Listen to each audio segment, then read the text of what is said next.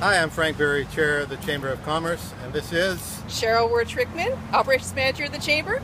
and we are accepting the challenge from the Film Commission and challenging Mayor Dean Fortin, Bob Broder of Grant Thornton, and Dallas Gislason and the Economic Development Group to ALS. What a fantastic cause.